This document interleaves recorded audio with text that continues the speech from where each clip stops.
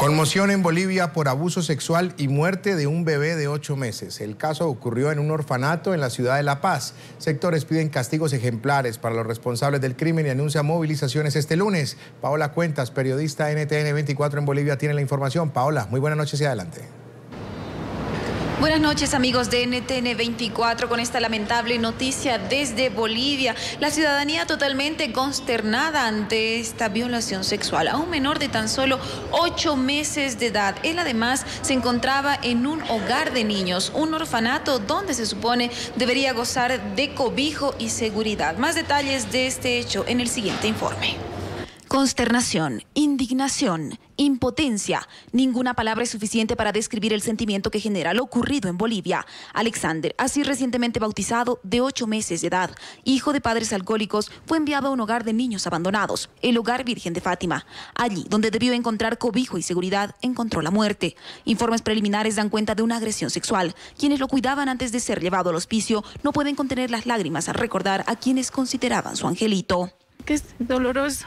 Ahora no sabemos qué suerte corren nuestros niños en, en el hogar. Sí, que sea justicia. La noche del suceso, el pequeñito fue trasladado a un hospital donde la atención le fue negada. Afirman que falleció con un paro cardiorrespiratorio debido a la hemorragia abdominal ocasionada por la violación. Diez personas fueron aprendidas, seis médicos de turno del nosocomio que negó la atención y cuatro funcionarios del orfanato, un galeno, el portero, una niñera y la administradora. Estamos hablando de eh, infanticidio, estamos hablando de violación, estamos hablando de encubrimiento. La policía y el Ministerio Público procedieron al registro del hogar de niños. Se realizará un examen médico a todos los pequeños que residen en el lugar y es que surgen más denuncias de supuestas irregularidades. Celia Laura vende flores cerca de estas instalaciones. Afirma que en diferentes oportunidades escuchó gritos de los menores. Gritan las guaguas, deben orinar en la noche y les pegará o les hará levantar. No mami, no mami, yo cuántas veces he gritado. Los informes conocidos hasta el momento son bastante sensibles. Desgarro y sangrado anal, traumatismo abdominal y sangrado interno habrían causado la muerte de este bebé. El cuerpecito fue enterrado en medio del clamor de la ciudadanía por justicia. Señor, te imploro, te pido, por favor, haga justicia a este niño. Este angelito lo han matado en la forma que lo han matado. Señor, esperamos de tu justicia, de tu divino corazón, Señor. El defensor del pueblo, Rolando Villena, exigirá a la Gobernación de La Paz, de la que depende el orfanato en cuestión, un informe acerca de las medidas de control y seguridad en estos recintos. Aunque en circunstancias diferentes, recordemos que este no es el primer caso de violación a un bebé en este país. En septiembre de 2013, una pequeña de siete meses de edad también fue víctima de agresión sexual. Frente al cuerpo sin vida del angelito Alexander, la ministra de Justicia compromete esclarecimiento del caso para que Alexander pueda descansar. Pero los que sí no vamos a descansar, vamos a ser nosotros y no veamos a esas personas que han cometido este tremendo crimen, sean sancionadas y las veamos en la cárcel. Eso sí, no vamos a descansar. Y esta consternación se materializará a través de una protesta que se realizará este lunes a las 11 de la mañana hora boliviana, así convocada por activistas defensores de niños en puertas del hogar Virgen de Fátima, donde se encontraba este pequeñito. Exigen justicia para los responsables, que sean identificados, que este hecho no quede impune, pero además medidas de prevención para que esto no se vuelva a repetir. Con esta información, amigos de NTN 24, retornamos hasta el Centro Internacional de Noticias. Gracias, Paola, por la información desde la Paz y vamos precisamente precisa, ahí, a La Paz, a Bolivia, con Yolanda Herrera. Ella es presidenta de la Asamblea Permanente de Derechos Humanos de Bolivia. Muy buenas noches, señora Herrera. Gracias por acompañarnos en el informativo de NTN 24 para toda nuestra teleaudiencia en Estados Unidos, América Latina y el Caribe. Le quiero iniciar preguntándole cuál es la primera reacción que genera dentro de la Asamblea Permanente de Derechos Humanos de Bolivia este caso de este bebé de apenas ocho meses. Muy buenas noches, Jesús. Eh, informar que la Asamblea de Derechos Humanos de Bolivia, como una organización de la sociedad civil, se encuentra indignada sobre el hecho acontecido con este bebé. Condenamos eh, fehacientemente este hecho atroz con un ser inocente, con un ser indefenso que ha perdido la vida a raíz de este hecho, en nuestra opinión, monstruoso. Señora Herrera, ¿cuántas denuncias relacionadas a violación y vulneración de derechos de menores recibe la Asamblea de Derechos Humanos de Bolivia? Como Asamblea de Derechos Humanos tenemos eh, denuncias en términos eh, de violencia intrafamiliar, normalmente denuncias de violaciones no, no llegan a nuestra, a nuestra institución, solamente violaciones por violencia intrafamiliar. Este tipo de hechos normalmente cuando alguna vez llegan, canalizamos a las instituciones que tienen que velar por la vigencia de los derechos humanos. Y en el caso de este bebé que ha fallecido, lo que nos preocupa es que estaba bajo tutela del Estado, por cuanto había sido recuperado de los padres que lamentablemente tenían una condición no adecuada para mantener al bebé y que en estas condiciones perdió la vida. Sí, ahora, como usted lo decía, este hecho genera mayor indignación cuando se trata precisamente de un niño, un bebé que se encontraba en un lugar de resguardo como es el hogar Virgen de Fátima. ¿Qué pasa entonces con los controles a este tipo de instituciones?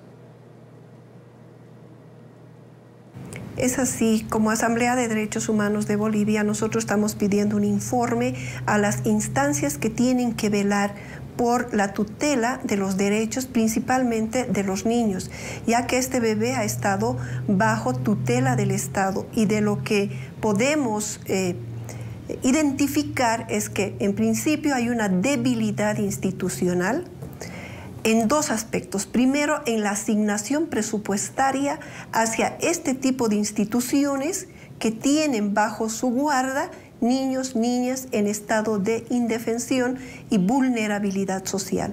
Dos, no se tienen efectivamente protocolos para la incorporación de un personal sensibilizado, formado para que ejerza esta labor, que es una opción de cuidado por niños, niñas y adolescentes. Tercero, el ámbito del el seguimiento y el monitoreo que debería realizarse periódicamente a este tipo de centros, hogares, donde existen niños, niñas y hasta ancianos, es casi inexistente. Por lo tanto, estos tres y cuatro elementos que hemos mencionado muestran una debilidad institucional en estos centros donde están nuestros niños, niñas, adolescentes cobijados. Señora Herrera, la Defensoría del Pueblo de Bolivia va a exigir un informe sobre las medidas de control y seguridad en orfanatos. Desde la Asamblea de Derechos Humanos también se pedirán estos registros. ¿Se constituirán quizás en parte acusadora en el proceso legal que se ha iniciado? Es uno de los aspectos del ámbito legal para restituir y sancionar pero lo que para la Asamblea de Derechos Humanos es, es, principal, que se haga rápidamente un sondeo, una auditoría en todos los hogares donde tenemos niñas y niños y se revisen los presupuestos que están asignados para el personal que trabaja en estos hogares y además se haga una revisión de eh, una revisión psicológica y todo lo que tiene que darse en función de las personas que están en el entorno cercano, que cuidan a los niños, niñas y adolescentes como medidas urgentes preventivas de lo que ha venido ocurriendo. Y en el ámbito concreto de este niño nos vamos a constituir en vigilantes de que los autores, tanto directos como indirectos, por corresponsabilidad, por omisión, han violentado los derechos humanos, tengan que ser debida y drásticamente sancionados. En Bolivia se han promulgado nuevas leyes de lucha contra la violencia, sin embargo los casos de este tipo se incrementan. ¿Quizás no son suficientes las normas emitidas por el gobierno? Es lamentable indicar que la sola eh, promulgación de leyes, de normas, no son suficientes en el ámbito de que si no están acompañados con asignaciones adecuadas de presupuesto, con eh, la formación de los operadores de estas leyes, de los que efectivamente van a cumplir. Entonces, son leyes que en el discurso tienen un buen planteamiento, pero donde falla es en los operadores de la administración, tanto de la justicia y tanto de eh, las instancias donde cobijan a niños o protegen a niños o tienen un nivel de accionar en este ámbito.